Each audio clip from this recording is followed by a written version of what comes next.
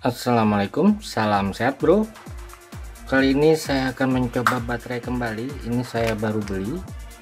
Lumayan dapat tempatnya. Oke kita lihat saja. Ini video sebentar tapi percobaannya lama. Terlihat. Oh ini hanya keterangan saja. Lihat mereknya. Terbaca ya bro. LG ABHG 21865 R11 6D2 66AE Oke. Ini akan saya ukur dahulu tegangan tegangan awal pada saat kita membeli. Kita lihat tegangannya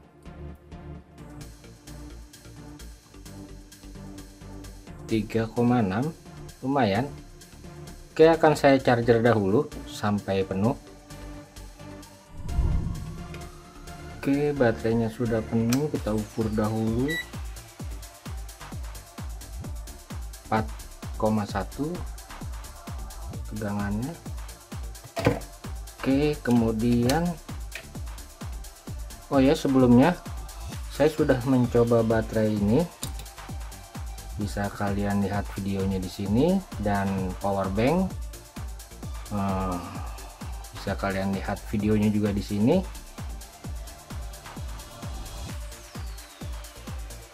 Oke saya coba saja terlihat. Saya pasang positifnya jangan sampai terbalik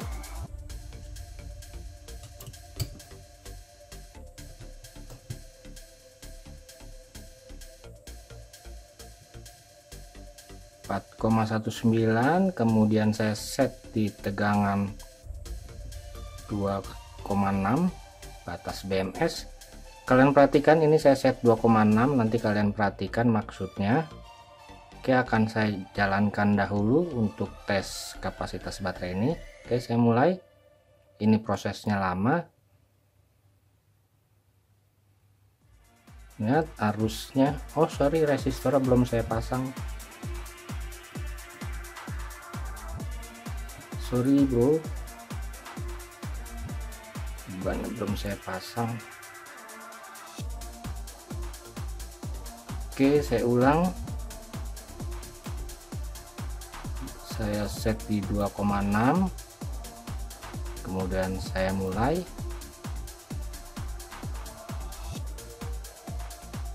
Harusnya 1 ampere.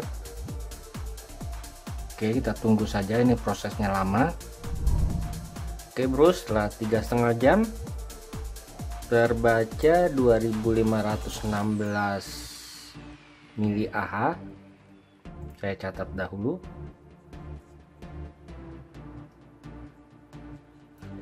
Dan ingat ini kapasitas mulai dari tegangan 4,1 volt.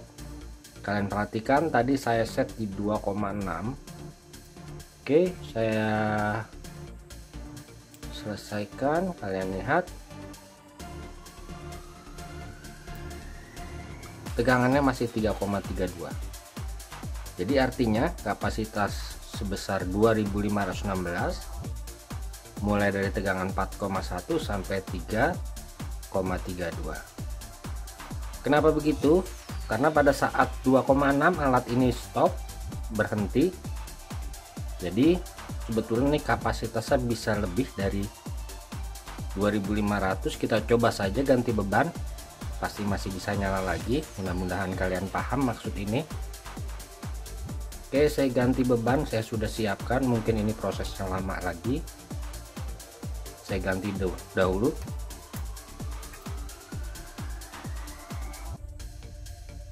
Jadi walaupun dinyalakan ini pasti nambahnya hanya sedikit saja. Kita ganti bebannya dahulu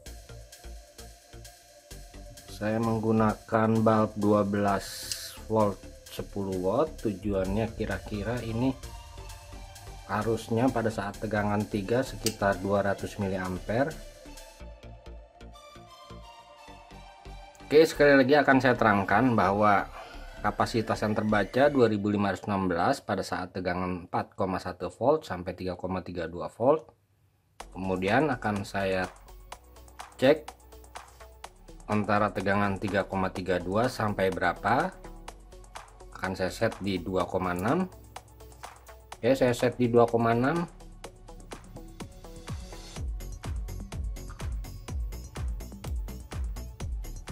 Oke saya naikkan 1 2,6 saya mulai.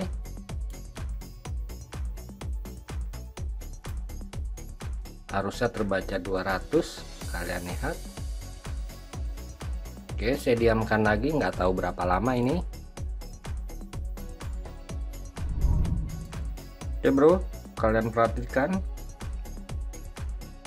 Harusnya 200 mA tegangan hampir 2 0,98 kalian lihat sudah di bawah 3 volt jadi tergantung keperluan kalian. Di sini sudah nambah 30 mAh jadi bisa kalian ambil kesimpulan tapi menurut saya ini bagus sekali bila dibandingkan dengan dua baterai sebelum yang sudah saya coba dan ini saya dapatkan dengan harga 55.000 link pembeliannya ada pada deskripsi video Oke bro, terima kasih telah berkunjung. Salam sehat. Wassalamualaikum warahmatullahi wabarakatuh.